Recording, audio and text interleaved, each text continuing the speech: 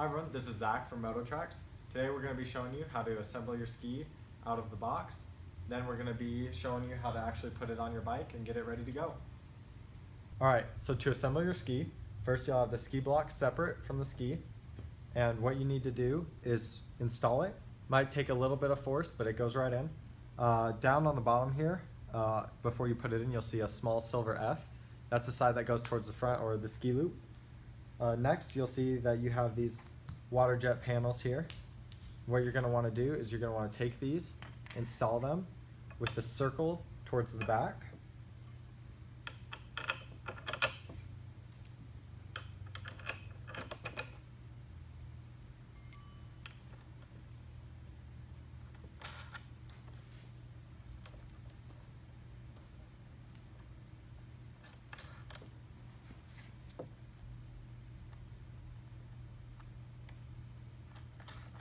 All right, so once you get those tightened down, you're gonna wanna grab this bar right here, take it, thread it through, then you're wanna gonna, gonna wanna take these two set screws that it comes with, right here, should have two. Go ahead, thread them through the back, and just get them threaded in, but not too tight, because you'll have to adjust this bar when you actually put it on the bike.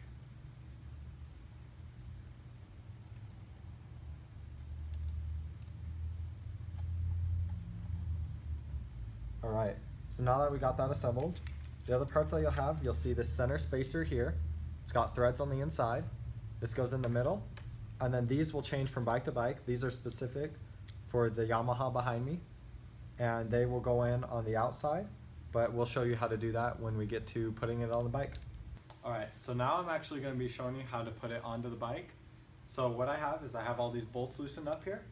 Just gonna wanna take out your axle push it out, take off your front wheel of course.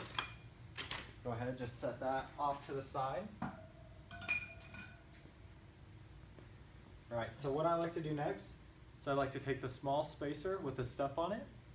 Go ahead, put that into your, your fork there. Take your ski, go ahead grab that. Take it, turn it, get it lined up.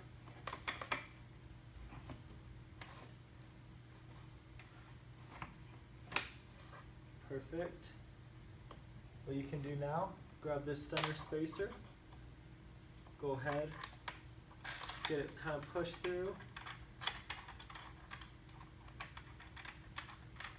Start to get that threaded on and it'll keep it from falling out on you.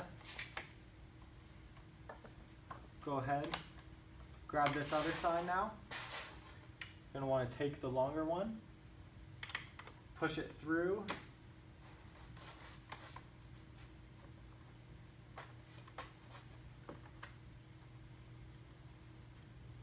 Get everything all nice and lined up.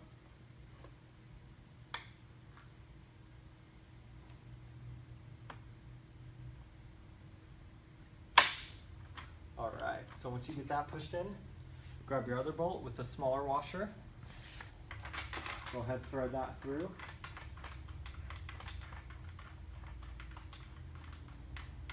So you can go ahead, get these tightened down.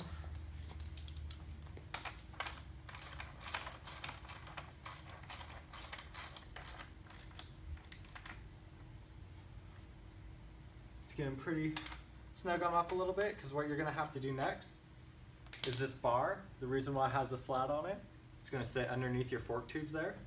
So what you wanna do, is the reason we didn't snug these up, gonna take it, push it back as hard as you can, get that lined up, see how it sits flat on there.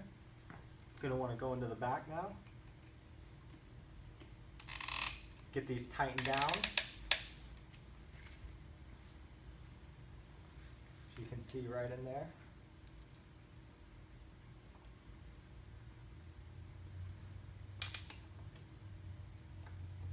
Perfect. Right. So now with you still pushing back, go ahead, get these nice and snug. Now you can go ahead, tighten down these pinch bolts, just make sure, you know, that your forks aren't in a bind, kind of look at them, check them out, make sure that you don't have too big of a gap on either side. This side should pull it through, get that side lined up. Just wiggle this side, make sure it's freed up. Go ahead and tighten these down now. Make sure you tighten these down to your factory torque settings.